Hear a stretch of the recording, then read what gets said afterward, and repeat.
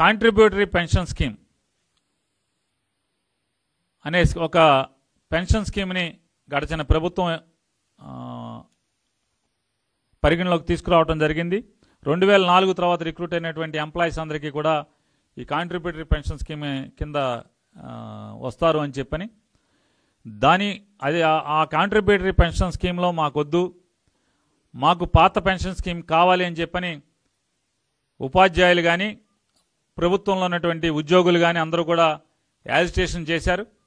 ఆ ఉద్యమం సిపిఎస్ రద్దు కోసం చేసినటువంటి ఉద్యమంలో పలు కేసులు ఉద్యోగస్తుల మీద నమోదైనవి ఆ కేసులన్నీ కూడా జగన్మోహన్ రెడ్డి గారి యొక్క సూచన మేరకు ఆ కేసులన్నీ కూడా ప్రభుత్వం విత్డ్రా చేస్తూ తీర్మానం చేయడం జరిగింది. అలాగే గుంటూరు ఓల్డ్ పోలీస్ స్టేషన్ మీద దాడి చేశారనే ఒక కారణంతో సాకుతో గుంటూరులోని అనేక మంది ముస్లిం యువతపై కేసులు పెట్టడం జరిగింది. ఆ కేసులన్నీ కూడా విత్డ్రా చేస్తూ కూడా రాష్ట్ర ప్రభుత్వం ఈరోజు తీర్మానం చేయడం జరిగింది. అదొక మరొక దేశంలోనే మొదటిగా ఇంతవరకు ఏ రాష్ట్రంలో కూడా ఏర్పాటు కాబడినటువంటి చట్టం. Fish feed quality control act అనే ఒక కొత్త చట్టానికి ఇప్పుడు సమయం లేదు కాబట్టి ఆర్డినెన్స్ ద్వారా తీసుకురావటానికి రాష్ట్ర ప్రభుత్వం కేబినెట్ తీర్మానం చేయడం జరిగింది. రాష్ట్రంలో ఒక లక్ష తొమ్మిది వేల హెక్టార్లలో రొయ్యల సాగు జరుగుతుంది. అలాగే డెబ్భై ఐదు వేల హెక్టార్లలో మంచినీటి చేపల పెంపకం జరుగుతుంది. ఇంత పెద్ద ఎత్తున జరుగుతున్నటువంటి ఈ చేపలు రొయ్యల ఎక్వా పరిశ్రమ వల్ల సుమారుగా పదిహేడు వేల కోట్ల వ్యాపారం జరుగుతుంది. దాదాపుగా ఈ రొయ్యల సాగులో కానీ చేపల సాగులో కానీ ఎక్వాకల్చర్లో అరవై శాతం ఈ సాగు యొక్క ఖర్చులు మేత మీద వెచ్చించడం జరుగుతుంది రైతులు. అరవై శాతం వెచ్చి అంటే ఖర్చు వ్యవసాయం అంటే ఎక్కువ సాగుకు జరిగేటువంటి ఖర్చు అరవై శాతం ఖర్చు మేత మీద చేపల మేత రొయ్యల మేత మీద జరుగుతున్నప్పుడు అది తయారు చేసేటువంటి పరిశ్రమలు ఇప్పటి ముప్పిడిగా పెరిగినాయి. కానీ దానిలో ఏం జరుగుతుంది? నాణ్యతాపరమైనటువంటి మేత తయారవుతుందా లేదా? ప్రామాణికాలు పాటిస్తున్నారా లేదా?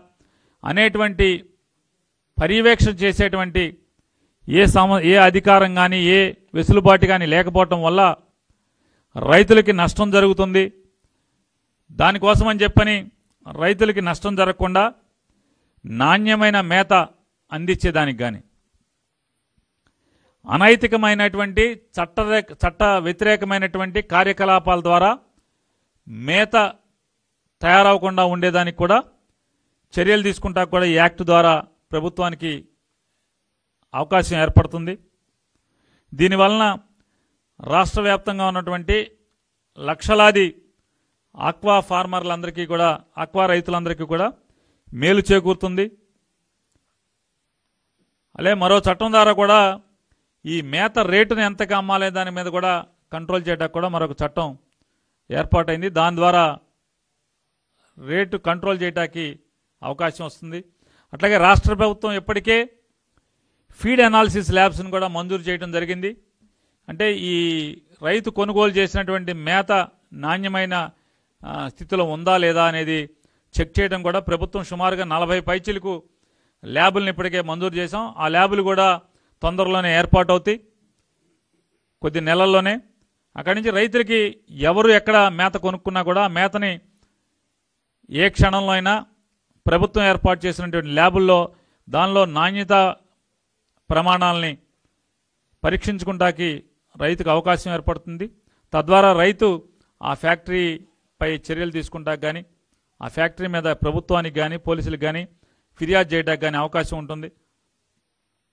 అలాగే కర్నూలు జిల్లా ప్యాపిలి ప్రాంతంలో ఐదు కోట్ల రూపాయలు వెచ్చించి గొర్రెల పెంపకందారుల శిక్షణా కేంద్రాన్ని ఏర్పాటు చేయాలని చెప్పని కేబినెట్ తీర్మానం చేయడం జరిగింది.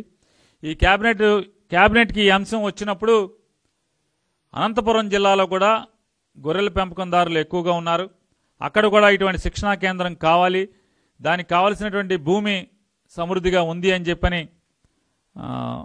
రాష్ట్ర ముఖ్యమంత్రి గారి దృష్టికి అనంతపురం జిల్లా మంత్రి గారు తీసుకొచ్చినప్పుడు వెంటనే ముఖ్యమంత్రి గారు మౌ మౌఖికంగా ఆదేశాలు జారీ చేయడం జరిగింది. సంబంధిత అధికారులందరికీ కూడా.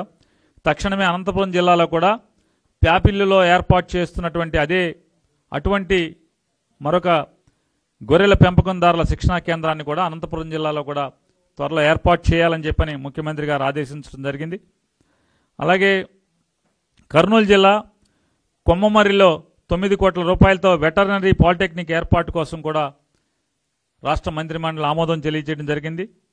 ఇరవై ఇరవై ఒకటి పంతొ రెండు వేల ఇరవై రెండు వేల ఇరవై ఒకటి సంవత్సరాన్ని నుంచి ఈ కాలేజీ ప్రారంభం అవ్వాలని చెప్పని అకాడమిక్ ఇయర్ స్టార్ట్ అవ్వాలని చెప్పని అలాగే ప్రతి సంవత్సరం ముప్పై మంది విద్యార్థుల ఇంటేక్తో ప్రారంభ దశలో ఈ కాలేజీ ప్రారంభించాలి బ్యాచ్లు స్టార్ట్ అవ్వాలని చెప్పని కూడా మంత్రిమండలి తీర్మానం చేయడం జరిగింది. అలాగే రాష్ట్రంలో గడిచిన ఐదేళ్ళలో మనం చూసాం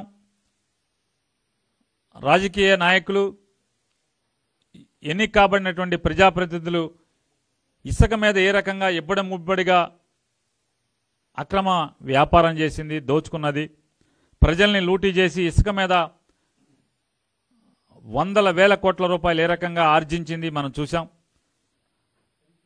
గడిచిన ఐదేళ్ళలో జరిగినటువంటి తప్పులు జరగకూడదని చెప్పని ప్రజాధనం ఎవరికి దోచుకునే అవకాశం ఉండకూడదని చెప్పని జగన్మోహన్ రెడ్డి గారు ఇసుక మీద అనేక రకాల కట్టుబాట్లని నిర్ణయాలు తీసుకున్నారు. అయినప్పటికీ కూడా అక్కడక్కడ ఇంకా ఇసుకలో ఇంకా ఇబ్బందులు ఉన్నాయనేది ప్రభుత్వానికి వచ్చినటువంటి ఫీడ్బ్యాక్ ద్వారా శాండ్ కార్పొరేషన్ అనే ఒక కార్పొరేషన్ ఏర్పాటు చేయాలని ఈ శాండ్ కార్పొరేషన్ ఏర్పాటు చేయడం ద్వారా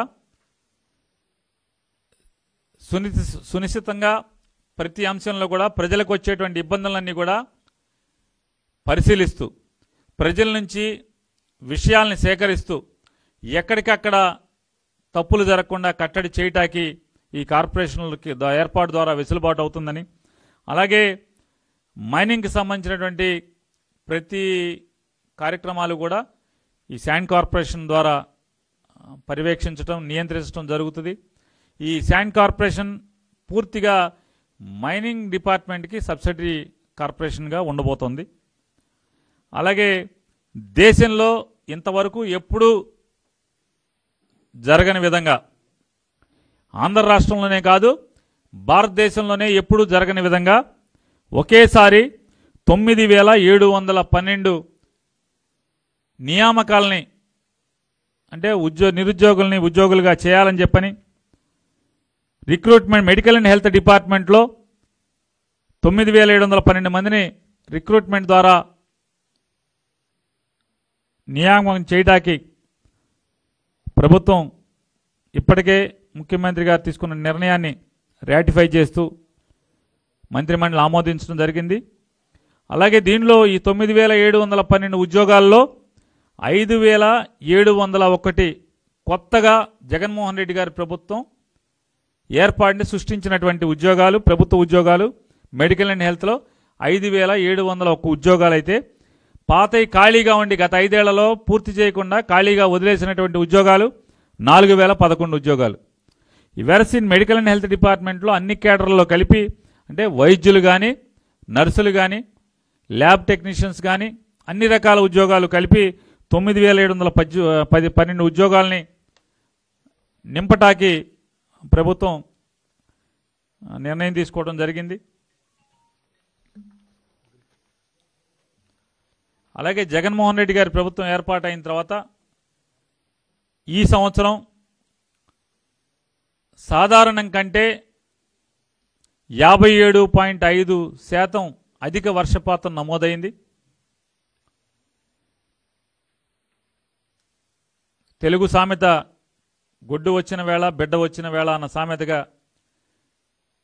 నాడు రాజశేఖర రెడ్డి గారి ప్రభుత్వంలో వరుణుడు ఒక మంత్రిగా ఉన్నారని ప్రజలు మాట్లాడుకునే పరిస్థితి ఇవాళ జగన్మోహన్ రెడ్డి గారి ప్రభుత్వానికి జగన్ గారికి అండగా వరుణుడు ఉన్నాడని చెప్పనేది రుజువు చేస్తూ గడిచిన ఏడాది ఎలాగో ఈ ఏడాది కూడా యాభై ఏడు పాయింట్ ఐదు శాతం అధిక వర్షపాతం ఆంధ్రప్రదేశ్ రాష్ట్రంలో నమోదైంది.